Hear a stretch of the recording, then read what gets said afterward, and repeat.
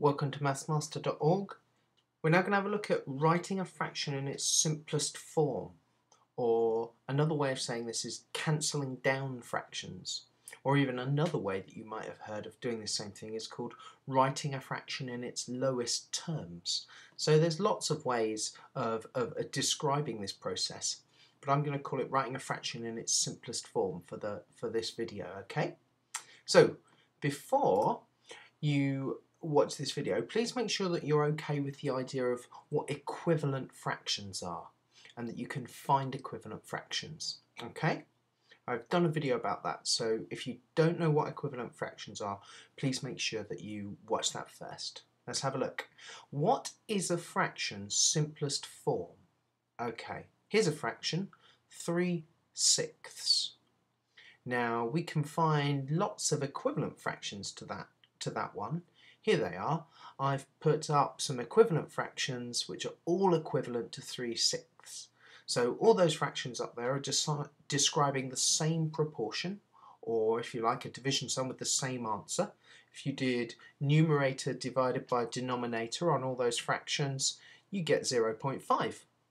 So they're all equivalent, they're all the same size even though they look different. Okay, only one of those fractions is the fraction in its simplest form. Can you think which one that could be? It's this one, 1 half. Okay? Let's have a look at another one.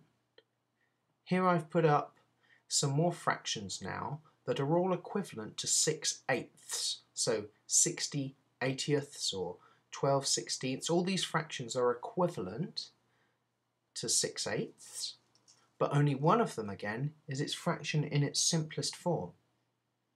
Can you think which that one would be? It's this one, 3 quarters. Writing a fraction in its simplest form means that you have to write the fraction using the smallest numbers possible. Okay, so writing the fraction there, you'll see that the smallest numbers possible that we could write that fraction in would be 3 quarters. And remember that you have to use whole numbers, you can't have decimal numbers in fractions. So, to write a fraction in its simplest form, you just have to use um, write it using the smallest whole numbers possible. Okay, so what is a fraction simplest form? Writing it using the smallest whole numbers possible.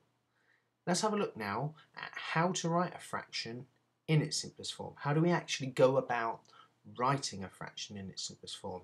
Now we know what it is, how do we go about actually finding a fraction simplest form? Let's have a look at a couple of examples.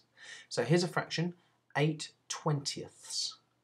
Right, the question you ask yourself when you're doing this is, can I think of a number which I can divide into 8 and 20. So if you look at the numerator and the denominator and you ask yourself, can I find a number that would divide a whole number of times or goes into 8 and 20?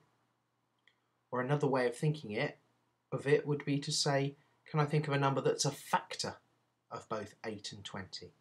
Well, I can. 2. 2 goes into 8 and 2 goes into 20. So I'm going to divide the numerator and the denominator by 2.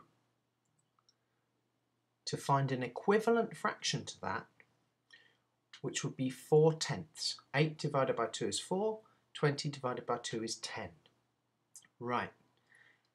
Then you ask yourself, can I now think of a number which divides into 4 and divides into 10 a whole number of times? Well, I can. 2 goes in again, doesn't it? 2, 4 divided by 2 is 2, and 10 divided by 2 is 5. So we divide numerator and denominator by 2 again to get 2 fifths. And then you repeat the process again. You say, can I think of a number which divides into 2 and divides into 5? Or can I think of a number that's a factor of 2 and a factor of 5? No, I can't. And so because I've got to the end of that, you now know that 2 fifths is the simplest form of 8 twentieths.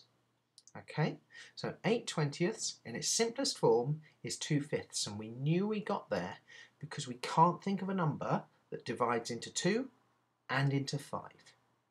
Okay, let's have a look at one more example now. 30 36ths is our starting fraction. We're going to write this in its simplest form. And as before, can we think of a number that's a factor of both 30 and 36? Or can we think of a number that divides into 30 and 36? Well, 3's go into those, don't they? So if we divide 30 by 3, we get 10. And if we divide 36 by 3, we get 12. So we've got 10 twelfths now. Are we at the end of this? Is that in its simplest form? No, it's not.